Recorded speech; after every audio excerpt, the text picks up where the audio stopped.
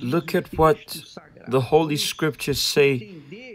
Let us understand Romans chapter 8, verse 6. The Apostle Paul speaking to the newly converts, speaking to those who were in Rome and in that time, living under every sort of sin, living carnally, living after the desires, the lusts of the flesh. These were people who lived in the flesh. But many had converted to the Lord Jesus. But among these converts, there were also those who were not converted. You know how it is half cement, half brick. Those who claim to follow the Lord Jesus from their mouth. Verbally only, but not on the inside, in the inside. So the Apostle Paul, he speaks exactly about the situation. He speaks exactly to these people, these kinds of people who unfortunately do not assume their faith in the Lord Jesus. Look at this. For to be carnally minded is death. To be carnally minded is death. But to be spiritually minded is life and peace. I'll read once again. For to be carnally minded is death, is death. But to be spiritually minded is life and peace. Because the carnal minded the carnal mind is enmity with against God, for it is not subject to the law of God which means it does not go with the discipline of God, nor indeed can be. I was reading the comments on my blog, and people were saying, Bishop, I really want the Holy Spirit. It's what I mostly desire. But I've been a while in the church. I'm a faithful tither. I am a giver. But I still have not received the Holy Spirit. Why have I not yet received the Holy Spirit? Why hasn't she received if if apparently apparently she is doing what is correct? She has not yet received the Holy Spirit because certainly the Spirit of God has seen something or is seeing something in her which impedes her or him for to come upon his life or their lives. For example, a person came in one of these campaigns of Israel. She came with a packet of money. And she was placing that sacrifice on the altar. So the bishop, he knew that person had a dream and she was depositing everything she had on the altar. But he also knew, the bishop also knew, that she was a person who had a lover.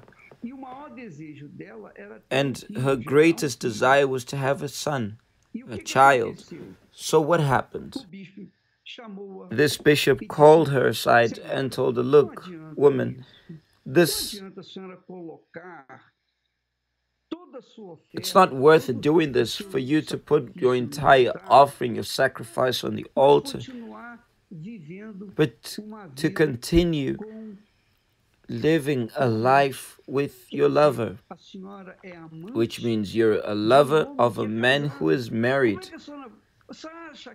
Do you think it is right? Do you think it's just? That you have a child from a married man. Do you think it's correct? Do you think it's okay with? So if you don't find this right, imagine God.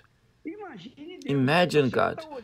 You're looking at the child, but you're not looking at the consequences.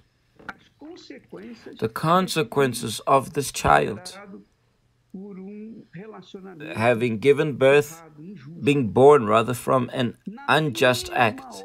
Immediately, that woman took back that offering and said to Bishop, I understood it now, what God wants from me. I got it. It's not by strength or force I, that I will reach what I want, which is to have a child. And so she took back the offering she had placed on the altar and she went home. She uh, got home, called her lover, told him, Come here, get all your stuff, and disappear from my life because I don't want this anymore. She called his wife and said, Look, I want to tell you that truly I have been a lover to your husband, but from now on you can trust me. I don't want your husband anymore. I don't want him anymore. Forgive me all this time which I caused difficulties, sadness, problems to you. But from here onwards, you will no longer hear about him having me as his lover. So there was an attitude, there was an attitude of intelligent faith. Exactly as it's written in the Holy Scriptures. Let's read the Holy Scriptures. For to be carnally minded is death, but to be spiritually minded is life, life and peace. How could she have life and peace living in the inclination of the flesh, of her will, of her desires? How could she satisfy God and her flesh at the same time? So he concludes by saying, Because the carnal mind is enmity with God, is enmity against God. So when the person is inclined to the carnal, to the flesh, it's adultery, fornication, theft, lies, deceits, everything which is carnal, everything that has an inclination to what is wrong, what is unjust, it's enmity against God. It's enmity against God. Perhaps you watch me here now and you say, Bishop, Truly, I have sought and desired the Holy Spirit, but indeed I've lived an incorrect life. I've lived an irregular life. I go to church, I am a giver, a tither, etc. But I live an irregular life with someone else. So, how can she mix? How can she conciliate the tendencies of the flesh with that of the spirit? It's not possible. It's written here that if a person lives in fornication, lies, theft, piracy, when she lives doing what is wrong, how can she receive the Holy Spirit? How can a person who comes to church at night, but during the day, she's busy with drugs, she's selling, exchanging, trading drugs, or stealing for drugs, using drugs, abusing drugs. If she wants to receive the Holy Spirit, she has to turn her back to those drugs. She has to say, I will not accept this anymore. I will no longer be enslaved by this desire. God will have to do something in my life because I'm seeking Him. When a person has this deci- decision, this determination, then the Holy Spirit comes and leads her to reach life and, re- and reach peace. And I believe, let us continue reading. I believe the Apostle Paul was speaking to people.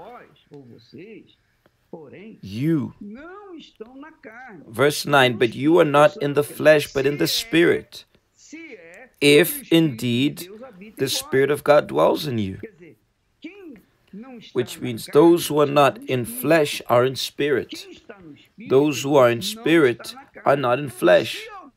And now, if anyone does not have the Spirit of Christ, he is not his.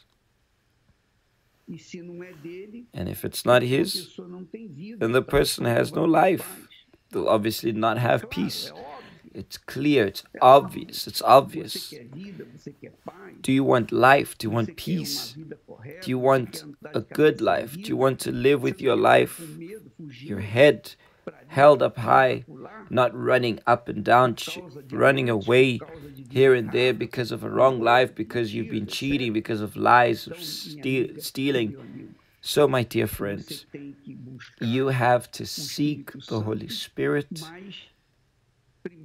But in first place, you need to leave your sin. Because in sin, a person cannot receive the Holy Spirit. Is that not true? How can one receive the Holy Spirit living in fornication and adultery, in lies? So he comes upon a person who lets go of sin, who does her best, she fights. But God gives, she knows God gives grace, strength for her to let go of that sin to receive the Holy Spirit. Did you get this, my dear friend? God wants to change your life. He wants to pour the Holy Spirit upon all people, upon everyone. But He cannot be pouring anyhow because it's not a market. The Holy Spirit is not a market. Those who want, they need to desire, they need to be thirsty. She must be thirsty. Because if she's not thirsty, nothing will happen. Sometimes a person is even in the church, but she's not thirsty. She has no thirst for what is just, for what is correct. She enjoys her sin and she tries to conciliate, to reconcile her, her, sin with her Christian life, with her life in the church. It's not possible. You have to decide. You have to decide. What do you want? Do you want life and peace? Then you need to incline to the Holy Spirit. If you don't want life and peace, then continue living the way you've been living until I don't know when. But one thing is certain those who receive the Holy Spirit, they have the essence of God within themselves. They are happy. They are rich, truly rich, and they live a life that is abundant, which is what the Lord Jesus promised. Praise be to God. You see, my dear friends, that the Holy Spirit is the only option of life for us. You may have everything in this world. You may have money, you may have family, you may have success, professional success, but you don't if you don't have the Holy Spirit, you're poor, poor, poor, miserable. Because life was created by him. The Holy Spirit is the spirit of life. And without him there is no life. Peace was created by him. And without him, without the spirit of peace, you're obviously not going to have peace. So it's a matter of intelligence. Use your wisdom. Without the Holy Spirit, there's no chance for you. You may graduate, you may get a lot of money, you may have success, but if you don't have the Holy Spirit, your life will be blunt. Your life will be of sadness, sadness and pain.